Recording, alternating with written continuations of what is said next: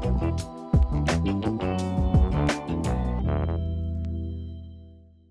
Ekskomisarų biuras - nauja Būk ramus programėlė tavo telefone. Patogiai valdyk apsaugos sistemą, stebėk apsaugos sistemos pranešimus. Gedimo atveju įsikviesk meistrą savo patogiausių laiku. Sąskaitas apmokėk be rūpešių, o pavojaus atveju operatyviai įsikviesk ekipažą. Būk ramus vos vieno mygtuko paspaudimo. Ekskomisarų biuras - 25 metai patirties.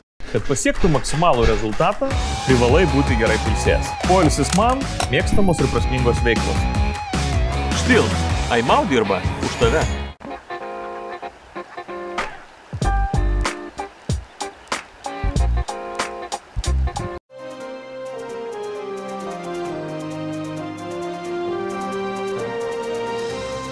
Sveiki, eterija Delfi dėmesio centre. Kodėl ekonomikos gelbėjimo planas patiria fiasko? Apie tai kalbėsime su Lietuvos pramonų konfederacijos viceprezidentu, Global Bot Group e, savininku ir valdybos pirmininku Vidmantu Janulevičiumi. Taip pat Lietuvos pramonų konfederacijos viceprezidentu bendrovės Putokšlis akcininku ir valdybos pirmininku Alvydu Stulpinu. E, o iš Alitaus prie mūsų prisijungia metalo apdirbimo bendrovės Lanksti linija vadovė Gintarė Blažienė. Taigi, ponė Blažienė, jūsų vadovaujamo įmonėje dirba apie pustrečio šimto darbuotojų. Kaip karantinas paveikė jūsų įmonę? Na, kaip paveikė? Karantinas tiesiogiai mūsų įmonės, mes nepapuolėm į tą sąrašą, kur tiesiogiai buvom paveikti įvesto karantino. Bet iš tiesų, kadangi esame eksportuojant įmonė ir praktiškai didžioji, ne, ne didžioji, beveik 100 procentų mūsų įmonės produkcijos keliauja į kitas šalis, tai mus labiausiai paveikia karantinas kitose šalise, mūsų eksporto rinkose. Ir tarkim, per balandį mūsų pardavimai krito 70 procentų, bet tai pardavimai yra ne viskas. Mes realiai tuštinom savo sandėlius ir pardavė, pa, vežėm savo užsakovom tai, ką buvom pagaminę, bet gamykla pati stovėjo ir 250 žmonių, jie tiesiog į darbus nėjo. Tai, žinot, tikrai liūdna buvo stebėti ir turbūt, na, istorijoje gal tik tai Alitaus gaisras buvo panašią situaciją sukėlęs, tai mes dabar jaučiamės kaip antrą kartą išgyvenintis daug baisesnį gaisrą. Jūsų bendrovės kreipėsi kokios nors paramos ar ko nors sulaukė iš valstybės? E, kol kas e, mes būsim tie, kurie e, prašysim subsidijos dėl prastovų, kadangi tikrai darbuotojai buvo prastovose ir dar dalis jų yra ir šiandieną prastovose ir dar tikrai bus ir gegužės mėnesį ir netmetam, kad ir birželį gali tekti stovėti prastovose. Tai kol kas tik tai planuojam kreiptis dėl prastovų. Esam pateikę, užregistravę privalomą tvarką, na, kaip privalom pranešti užimtumo tarnybai apie į prastovas išleistus darbuotojus. Ir dabar kol kas gauti jokios paramos šiuo atveju negalim, kadangi nors teoriškai kaip ir galėtumėm pretenduoti kažkokią subsidiją, jau dabar ir tikėtis kažkokių tai na, e, paramos pinigų, tačiau faktiškai vis tiek mes turime pateikti duomenis apie darbuotojo faktiškai išdirbtą, e, už, apie darbuotojo išdirbtą laiką už praeitą mėnesį ir tik tada pateikus priskaičiuotą tą vadinamąjį atlyginimą mes galim na, teikti dokumentus užimtumo tarnybai ir tikėtis kažkokios kompensacijos už prastovą. Ar turit kažkokių kreditų, ar e, galvojat kreiptis į Invegą? Dėl, dėl palūkanų kompensavimo ar dėl kokių kitų dalykų, kas yra pristatoma vyriausybės, na, apivartumo paskolų ar dar kažkokių priemonių? Šiame konkrečiame laikotarpyje gal šį kitą mėnesį ne, bet viskas priklausys nuo to, kaip mums seksis lipti toliau kol kas verčiamės savo lėšomis, savo jėgomis ir turbūt, nežinau, 2000, 2008 metų krizė mus pamokė, kad iš tiesų iš nieko negali nieko tikėtis. Turi pirmiausiai galvoti, kaip įsigelbėti pačiam, jeigu atsiras, kas tau padeda ir bus kuo pasinaudoti, tada ačiū, naudosimės ir bandysim. Tai šiuo atveju tai paskolų turim, bet e, kol kas mes dar nesikreipiam nei į banką dėl jų atidėjimo, o kai nesikreipi dėl jų atidėjimo, tada negali pretenduoti į Invegos priemonę dėl palūkanų kompensavimo. Tai netmetam, kad tą turėsim daryti ateityje, bet kol kas ne, ne, ne šiandieną. Šiandieną vienintelė priemonė, kuri tikrai norim pasinaudoti, tai yra kompensacijos už prastovas. Pone Stulpinai, e, jūs esate e, e, Šiaulių pramonininkų asociacijos prezidentas, visai neseniai atlikote regiono verslininko apklausą. Jos duomenimis regione dalinės ar visiškas prastovas paskelbė 52 procentai įmonių, gamybą visiškai yra sustabdę baldininkai, dviračių gamintojai, Dėl paramos kreipėsi 41 procentas jūsų apklaustų bendrovių. Ar šią savaitę bent dalį tų įmonių pasiekė kokia nors valstybės parama? Visiems, iš tikrųjų, jūs pateikėt tikrai tikslius duomenis, jos įvyko apklausa mūsų Šiaulių pramonės asociacijų praeitą savaitę. Ir tie duomenys, apie kuriuos mes dabar kalbame, yra praeitos savaitės, bet mes šiandieną atlikome ir kitą apklausą, kada tiesiog užklausime, kokią paramą ar kreipiasi į bankus ir bankai, Invega, tai čia tas pats mes skaitome, kad tai yra pirma bankas, paskui Invega ar Invega pato bankas. Tai praktiškai iš šiandieną apklaustų 42 įmonių, šiandieną tą padarė tik tai keturios įmonės. Tai ką sako, tai, tai, tai sako išvada tame, kokios priežastis tai kol kas kai kurie dar tikrai veržiasi diržus ir galvoja apie tai, yra tokių, bet didžioji dalis atsakė vieną, mes netikime šitą paramą, mes žinome, kokie sunkumai mūsų ten laukia ir mes kaps, galvojame kapstytis į savo patirties ar kitomis priemonės, negu prašysime šitos, šitos pagalbos per šias institucijas. Tai tas faktas labai šiandieną mus gazdina ir tiesiog e, naudodamas progą nu, noriu pasakyti, kad reikia daryti išvadas iš tokių uh, statistinių duomenų, nes kitaip mes tikrai uh, bus pasiekmes labai žiaurios.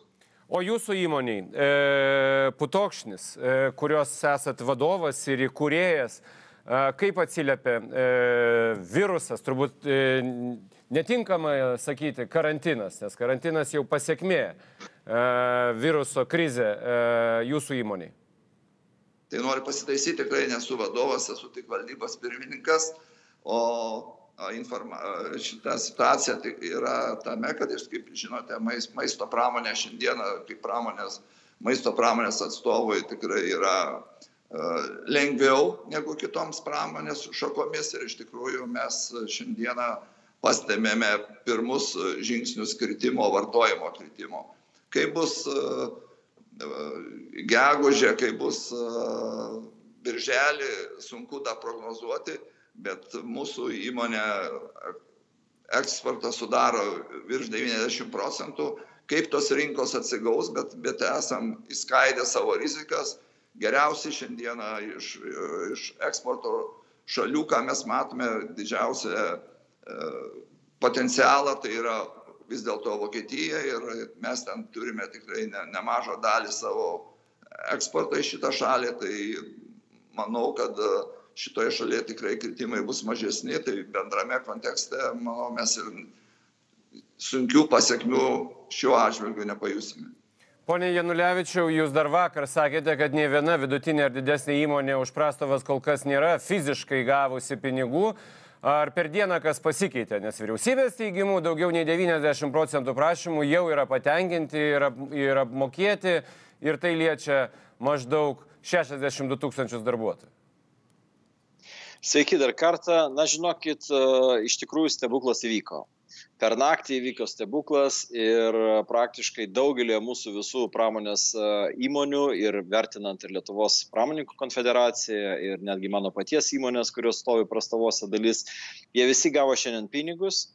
Teko apklausti didžiąją daugumą visų narių, negavo gal 4 ar 3 procentai ir tai tikėtina, kad e, tos paraiškos gal jas reikia tikslinti kai kuriuose vietose, nes iškilo klausimų dėl tam tikrų darbuotojų. Ar jie išėję visgi savo norų, ar už jas prastovas galima gauti, ar negalima. Tai iš tikrųjų situacija keičiasi ir tikiuosi, kad jinai keisis tokiu būdu, vat, kaip iš vakar ir už, iš užvakar, nes dar irgi apklausom e, papildomai smulkesnių įmonių.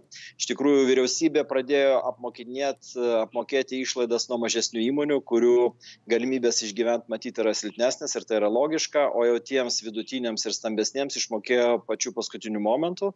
Ir aš tikiu, kad rytoj, ir bent jau teko po to kalbėti ir su vicekancleriu, Luku Savicku tikime, kad rytoj bus ta diena arba pirmadienis vėliausiai, kai bus išmokėtos visos prastovos. Jūs e, turite įmonės, kurios veikia ir kitose šalise. E, Estijoje turite gamyklą, taip pat turite dalį verslo ir Latvijoje. Galite palyginti situaciją Lietuvoje ir tenai? Būsiu atviras, kad situacijos panašios. Negaliu teikti, kad šitoje vietoje kažkur yra žymiai geriau. Deja, vėlgi noriu pasakyti, kad mes visada, žinote, lyginame su tais estais, tai šiuo atveju Estijoje jie paleido tos pirmosius pinigus anksčiau, mes nesikreipėm jokios paramos Estijoje, bet e, kolegos, tie, kurie yra šalia mūsų esančios gamyklos, jie kreipėsi ir jie gavo maždaug prieš 10 dienų pirmasias išmokas. Tai buvo ir prastovos, ir apivartiniai kreditai tiek tiem, kam sutriko atsiskaitimai ir likvidumo užtikrinimas. Tik šitoje vietoje noriu pažymėti, Estija vienoj vietoj tikrai mus lenkia su kredito draudimais. Tad šitoj vietoj yra, sakyčiau, kažkaip jiems, ar jų reitingas dar geresnis už mūsų, ar kaip. Ten kredito reitingų mažinimo įmonės, nu, negirdėjome, kad pasakytų Lietuvoje, tai jau prasideda. Aš galbūt vėliau galėčiau papasakoti plačiau apie tai, apie tą galimą priemonę, kuri iš tikrųjų yra svarbi pramonininkams. Taip, galite trumpai, e, trumpai paminėti ir e, iš karto užduosiu antrą e, klausimo dalį. E, prastovų kompensavimas, e, taip, e, sistema labai paprasta ir aiški, e, vėluodama, bet e, startuoja. E, bet tai turbūt e, nėra panacėja ir tai nėra esminė priemonė šiuo metu ir, ir, ir mokėjimai, kaip žinome, yra susijęti su, su minimalia alga ir taip toliau. Kokios kitos priemonės jūsų nuomonė turėtų nedelsiant startuoti ir kurios būtų efektyviausios? Jo, tai galbūt vat irgi galima pasidžiaugti už kolegos Alvydo įmonę. Pas mane viduje vėlgi pasikartosiu, teko ir kartotis ir anksčiau. Su Saulės energetika mes dirbame su kryptim, viskas yra gerai, mes nestabdome, o tik didame pajėgumus ir eksportas auga dėka tų pačių rinkų - Švedijos, Skandinavijos, Vokietijos. Deja, ten, kur dirbame su Pietų Europą ir šiuo atveju dirbame su, su optiniais lešiais ir su kitais dalykais, kadangi visos optikos buvo uždarytos Prancūzijoje, Italijoje ir Ispanijoje, automatiškai 95 procentais sumažėjo ir apyvarta. Tai va šitoj vietoj galbūt e, man ponios pasisakymas, kad šitoj vietoj norėtųsi pažymėti, kai yra viskas gerai, mes džiaugiamės eksportu, gyrėme savo eksportu, nes mes eksportuojantį šalis ir mūsų praeitų dviejų, trijų metų BVP viršė eksportas negu importą. Taip pat džiaugiamės tuo, kad mūsų visi įrengimai išnaudojami yra labai aukščiausiame lygiai, beveik vos ne 90 procentų pastarosius keletą metų, bet kai atsitinka tokia nelaimė, va tokios įmonės, kurios liktais neša tą medų savo šaliai, tokiu metu jos lieka be paramos. Ir šitoje vietoje reikia pagalvoti apie galimas naujas priemonės. Kodėl be paramos, jeigu, tarkim, neturim kreditų arba neturim dar ko nors, tai praktiškai paramų tokių kaip ir nėra, tik tai mokesčio atidėjimas, kas irgi, aišku, tai yra padeda šiek tiek išgyventi. O kalbant apie esminės priemonės, ko reikėtų pramonininkams, tai reikėtų, kad ta pramonė, kuri dar iki šiol veikia, maždaug šiandien dienai skaičiuojame, kad 55-60 procentų visos visos Lietuvos pramonininkų konfederacijos įmonių, kurių yra 3000 ir 60 sektorinių asociacijų, 60 procentų dirba dar vis, 40 procentų stovi prastovose, o kad tas tęstųsi ir galbūt tas procentas e, su karantino mažinimu auktų darbingų įmonių, mums reikia garantijų, nes problema dabar, aišku, visų akis yra išpūstos, visi bijo rizikų ir šitoje vietoje draudimo bendrovės, tokios kaip Uller Hermes, Kofas ir atradijus jos tiesiog pradeda žiūrėti, vertinti rizikas ir jos pradeda mažinti šalies reitingą galimai. Ir tuomet įmonės, kurios dabar šiandien dienai turi atidėjimus už žaliavas, kurias tiekia, ir taip pat lietuviškos įmonės, kurios parduoda savo prekes kažkur kitur, tiesiog tas limitas pradeda susitraukinėti ir ilgainiui, vat, kaip ir pane minėjo iš Alitaus, tikėtina, kad už 3-4 mėnesių mes turėsime rimtą problemą, nes nebus iš ko nusipirkti žaliavų, nes mums sustabdys atidėjimus, nebus e, garantijų už mūsų pirkėjus, tai mes aišku bijosime parduoti ir e, rizikuoti, rizikuoti prarasti tos pinigus ir prekes. Ir siūlome pačią lengviausią būdą dabar, aišku, tos visos kitos priemonės siūlomos irgi yra geros, bet norisi jas pamatyti, išbandyti ir tada pasakyti. Kol kas jos daugeliu atveju dar kažkiek tai vėluoja ir, ir su Invegos priemonėm, ir su kitais dalykais, nebent palūkanų kompensavimas tik tai startavo ir iš tikrųjų tam tikros įmonės jau gavo paraiškas patvirtinančias, kad jos bus apmokėtos tos palūkanos.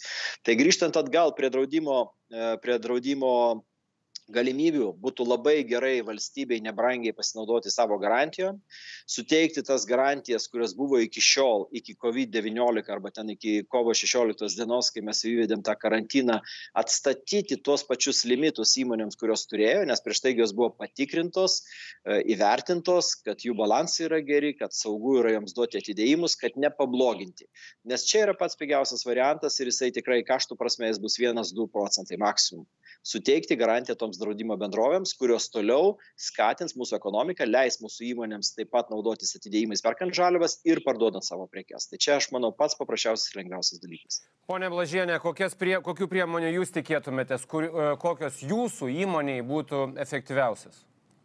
Aš taip ir tikrai pritarčiau ponai Janulevičius nuomonį dėl draudimų, nes iš tiesų ta problema, jinai sakau, gamybininkai ko gero susidurs su jie ne dabar, ir, ir susidurs ateity ir tada bijau, kad jau bus išsikvėpę ir, ir vyriausybės noras kažką daryti, ir, ir, tos, na, ir, ir pinigai, su kuriais bus, būtų galima kažką daryti, ir gal net ir idėjos kažkokios. Tai iš tiesų aš tikrai pritarčiau, kad tas, tas, ta priemonė būtų tikrai reikalinga ir naudinga, nes iš tiesų ir perkant žaliavas, jau dabar mes matom tą tokį e, didėjantį nepasitikėjimą tarp žaliavų tiekėjų, kad, na, jūs čia tikrai pajėgsit atsiskaityti, jau peržiūrėmi ir lygiai taip pat pervertami reitingai, tai šitoje vietoje gali būti taip rizika.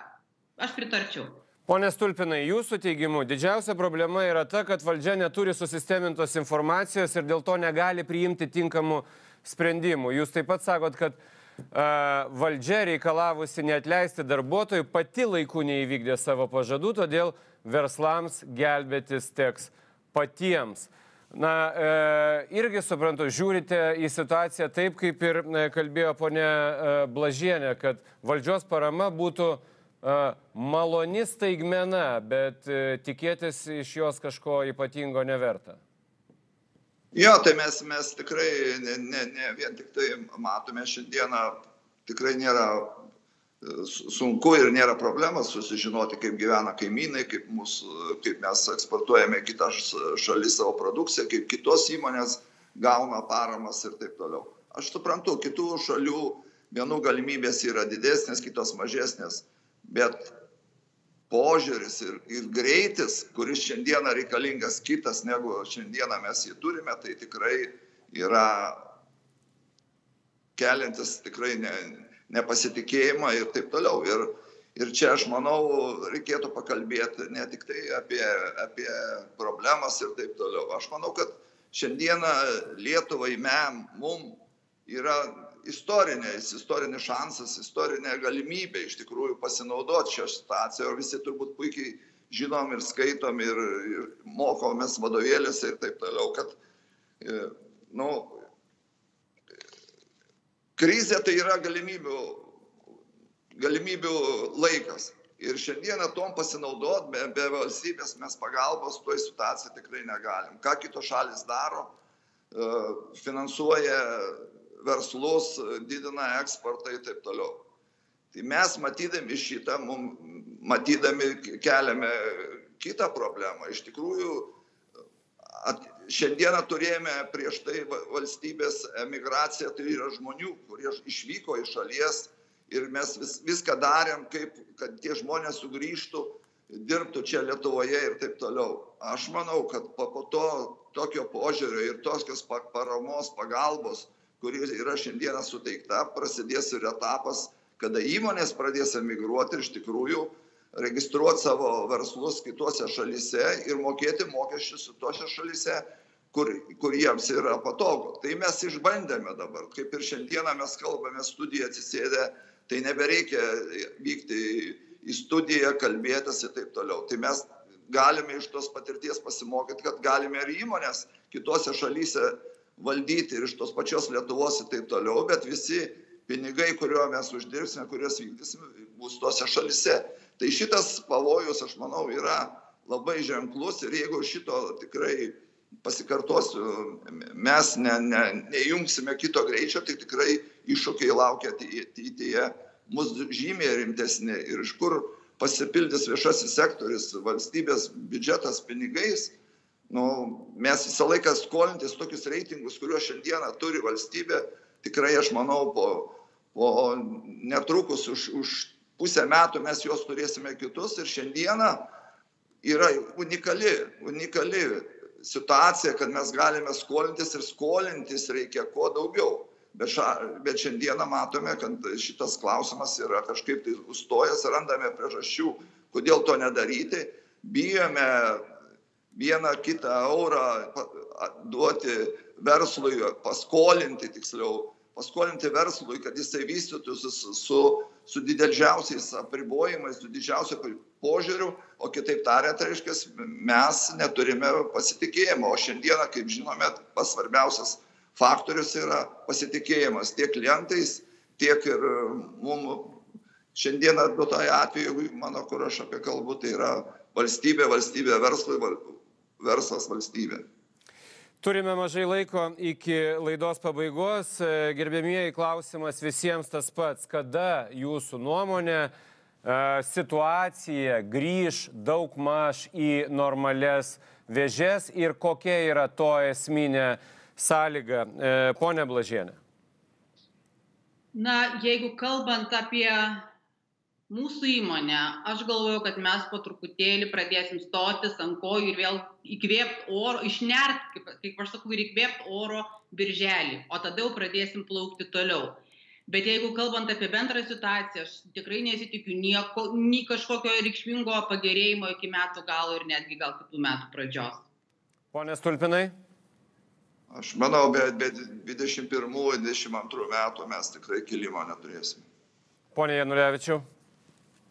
Jo, 21 pavasaris, aš manau, tai yra logiškas, tai daik, e, ta, ta data, kai mes jau turėtumėm turėti pliusą, o dabar šiais metais reikės matyti sugerti tai, ką mes e, dėja turime šiuo metu. Ir aš tik trumpai norėjau papildyti gerbiamą Alvydą, ką jis turėjo omeny. Jisai turėjo omeny tai, kad kapitalo kaštai esantys Lietuvoje šiandien dienai yra gana brangus.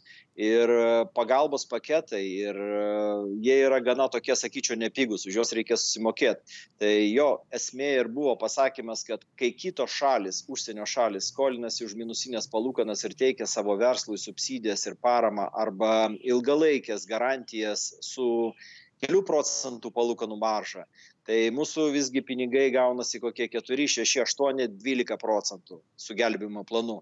Tai jis tai turėjo omeny, kad tai gali pervilioti lietuviškas įmonės į kitas šalis, nes tada tu moki mokesčius, bet tada tu žinai, kad tave kas gelbės pigais pinigais.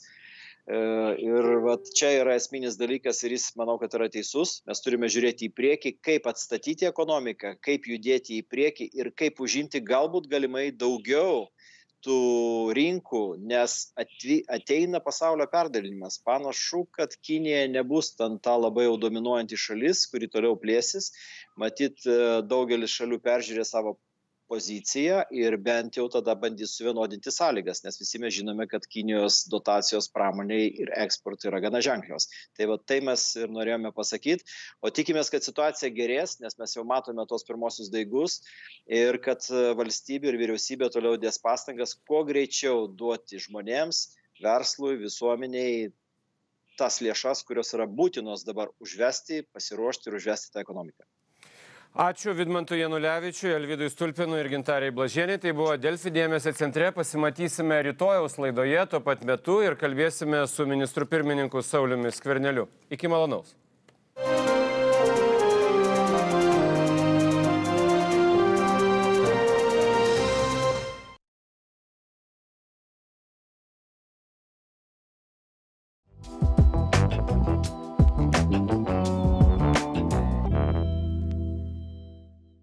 Kad pasiektų maksimalų rezultatą, privalai būti gerai pilsės. Poilsis man - mėgstamos ir prasmingos veiklos. Štil, Aimau dirba už tave. Ekskomisarų biuras - nauja Būk ramus programėlė tavo telefone. Patogiai valdyk apsaugos sistemą, stebėk apsaugos sistemos pranešimus. Gedimo atveju įsikviesk meistrą savo patogiausių laikų. Sąskaitas apmokėk be rūpešių, o pavojaus atveju operatyviai įsikviesk ekipažą. Būk ramus vos vieno mygtuko paspaudimo. Ekskomisarų biuras - 25 metai patirties.